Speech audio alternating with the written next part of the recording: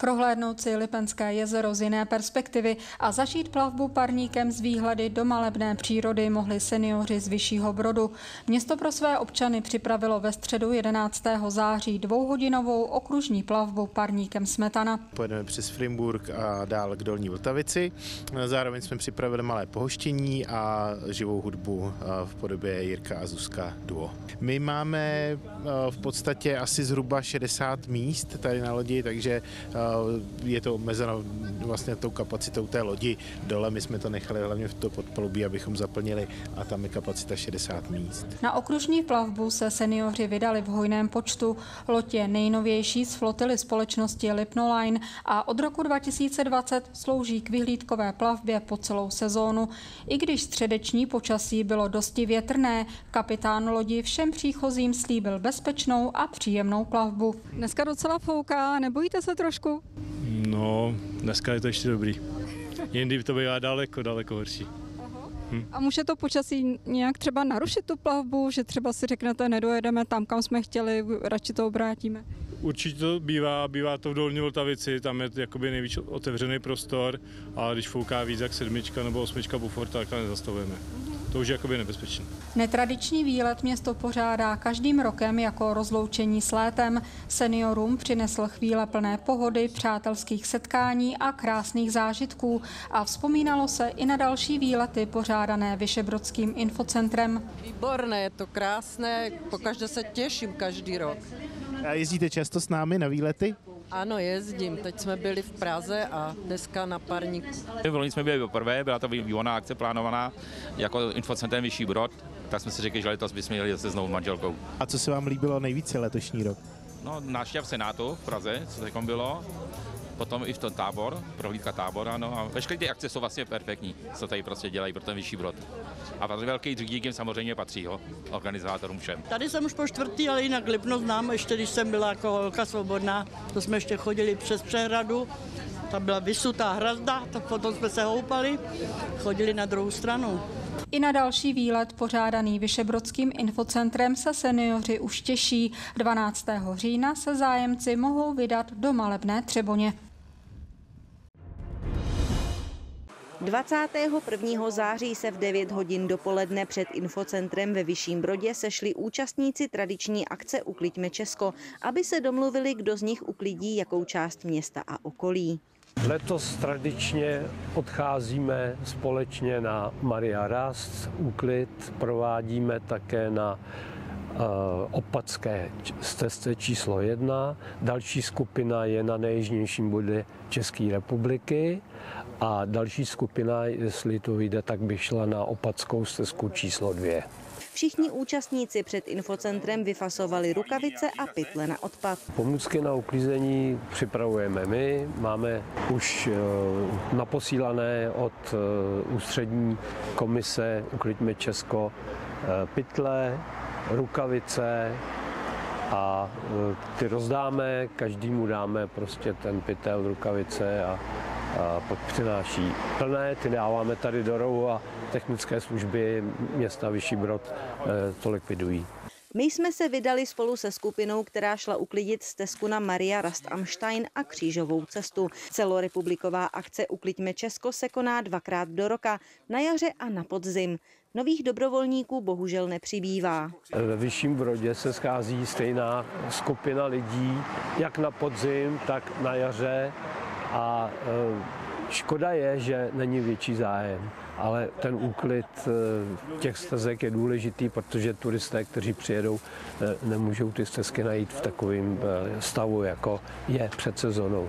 Je to pro mě důležité z jednoho důvodu, protože v přírodě, pokud si člověk prochází přírodou, tak jsou věci, které příroda skutečně dá, jako na pohled lidským zraku, a jsou věci, které v momentě, když tam prochází, tak prostě tam do té přírody patří, že jo. To jsou různé vlastně odpadky, papíry, vlastně všeho, všeho chuť vlastně ta doba, kdy tu vlastně lidi vozili do lesa ledničky a, a pračky a různý, různý tady ty věci, tak plať vám Bůh je pryč, protože existují sběrný dvory, jo. A jinak ta příroda prostě musí zachovat parádní a další je to vlastně pro lidi, kteří si navštíví, navštíví tady tu oblast v České republice a konkrétně Vyšebrodsko a je to milý, když prostě se přijdou, si myslím, a je to, to krásný, čistý. Město Vyšší Brod v současné době vlastní téměř 200 bytů. Nájemné z těchto bytů s regulovaným nájmem činí něco málo přes 3 miliony korun za rok.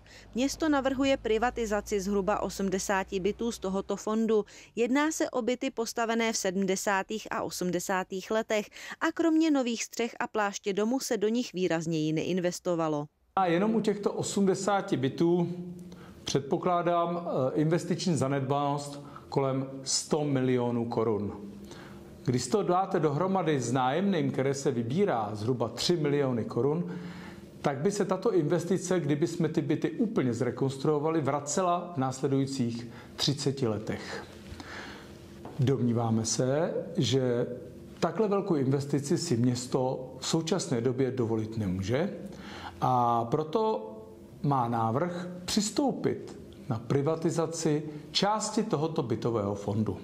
Město privatizaci považuje za investiční šanci. Přednostní právo koupě budou mít nájemníci a jejich nejbližší rodinní příslušníci.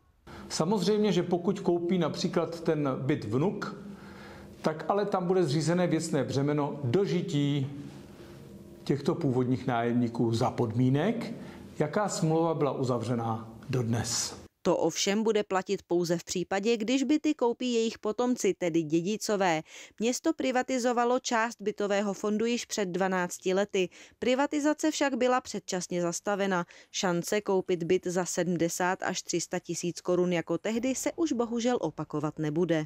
Myslím si ale, že pokud tuhle šanci dostanou dnes a využijí svého předkupního práva, které by mělo trvat minimálně dva roky, nebudou toho do budoucna litovat, protože inflace tuto investici bohatě zhodnotí.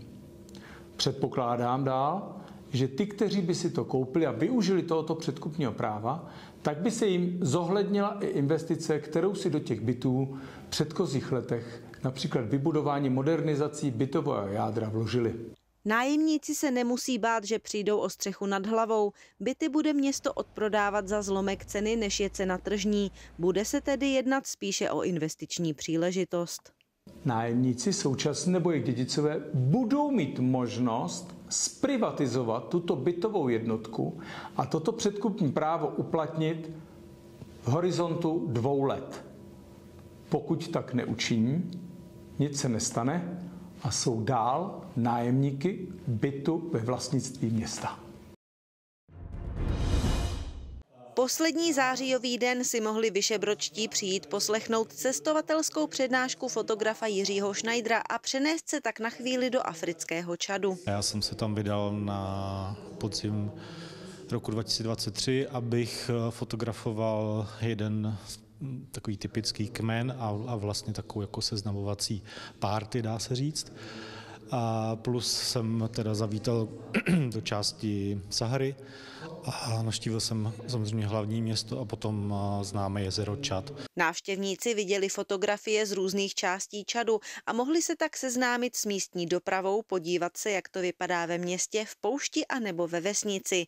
Projet Čad a získat fotografie úžasných míst, kam se každý nedostane, bylo pro cestovatele někdy náročné. To bylo určitě jako v těch prvních pár dnech, kdy člověk viděl, že to město je obklopený takovou jako vojenskou chuntou a že se tam opravdu musí chovat velice skrytě, až, až vlastně z toho byl takový lehký strach, ale my jsme se za dva dny potom vydali směrem, směrem k Sahaře.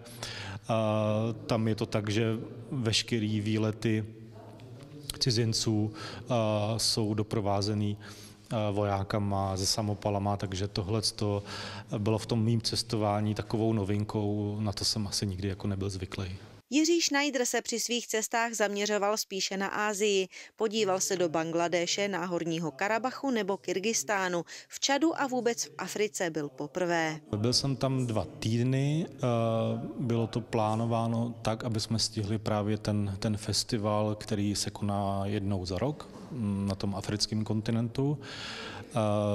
Za dva týdny jsme to stihli docela dost, až vlastně 4,5 tisíce kilometrů jsme projeli, takže někdy to byly opravdu prosazený prosazený dny, ale ta cesta byla svým způsobem náročná. Taková jako expediční. Byl jsem tam s několika známými cestovateli, třeba s panem Rudolfem Švaříčkem, což je jeden z našich nejznámějších. A byla to vlastně taková soukromá cesta právě díky tomu festivalu, což byl takový jako hlavní, hlavní cíl té naší cesty. Ve fotografické tvorbě se zaměřuje zejména na obyvatele a jejich tradice a kulturu. Mě baví uh, ten kontakt s lidmi, s místními, pak poznávat eh, ty jejich zvyky, což eh, vždycky v těch mých přednáškách je, je to hlavní téma. Ty lidi vůbec jako v křesťanských nebo při křesťanských obřadech, při různých Eh, festivalech, vůbec při práci, při obyčejné práci a snažím se to potom dokumentovat a předávat to lidem, lidem u nás. 5. října se dále konala vernisáž fotografií Jiřího Schneidera nejen z cesty po Čadu. Tato výstava bude návštěvníkům přístupná do 28. listopadu.